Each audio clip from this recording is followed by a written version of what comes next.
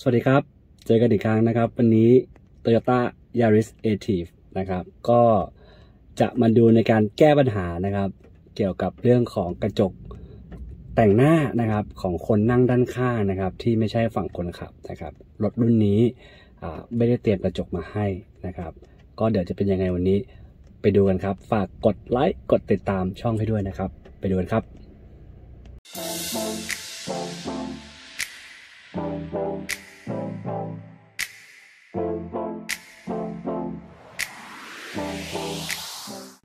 โอเคครับ ก็เป็นที่ทราบกันดีนะครับ ผมคิดว่าหลายท่านถ้าเคยศึกษาหรือว่าดูรีวิว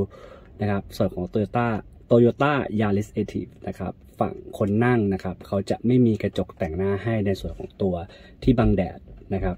เปิดลงมาตรงนี้นะครับ ชิ้นส่วนตรงนี้นะครับ จะไม่มี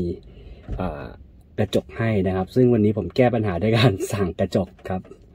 จากออนไลน์ครับผม อ่า ชิ้นละไม่กี่บาทนะครับ น่าจะสักไม่เกินหนึ่งร้อยบาทนะครับ ปล่อยปัญหานี้มาอยู่ตั้งนานนะครับ จริง ๆ แล้วมันเป็นแก้ง่ายมากเลยนะครับ ก็วันดีคืนดีก็นึกครึ้มใจครับ ลอง search Google ดูอ้าวเจอว่ามันมีกระจกแบบนี้นะครับ ขายอยู่นะครับ หาซื้อไม่ยากนะครับ ลองเอาคำ keyword ว่ากระจกแต่งหน้ารถยนต์อะไรประมาณนี้นะครับ keyword ประมาณนี้ครับ search ก็จะได้เจ้าตัวนี้มา นะครับ ซึ่งลักษณะเขาก็จะเป็นกาวนะครับ ลอกออกแล้วก็ติดบนบริเวณนี้ไม่ยากเลยนะครับ เดี๋ยวการติดก็แค่ลอกลอกกาวสีแดงออกแล้วก็ติดใช้ดีไม่ดีติดทนไม่ทนยังไง เดี๋ยวไปดูกันครับ ติดเรียบร้อยแล้วนะครับ ก็จะทำการดึงพลาสติกออกโอเค การใช้งานก็ชัดดีนะครับ ขนาด อดีเลยนะครับ ขนาดพอดีนะครับ ลักษณะของการพับเก็บไปก็ไม่มีผลอะไรนะครับ ไม่ได้หนาจนเกิดเป็น ช่องว่างนะครับ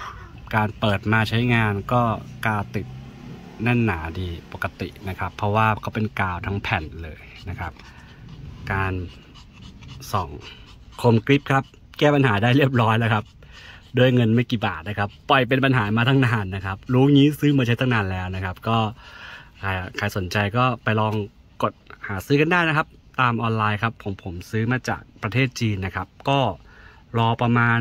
1-2 อาทิตย์ครับ รอนิดนึงแต่มันก็ถูกดีนะครับ แล้วก็พวกโปรโมชั่นส่งฟรีอะไรอย่างเงี้ยครับ ก็แก้ปัญหาได้นะครับ ใช้งานได้ปกติติดแน่นหนาดีนะครับ โอเค คลิปนี้ก็ประมาณนี้ครับ ใครชอบนะครับ ก็ฝากกดไลค์กดติดตามนะครับ เพื่อเป็นประโยชน์กับท่านนะครับ ขอบคุณครับ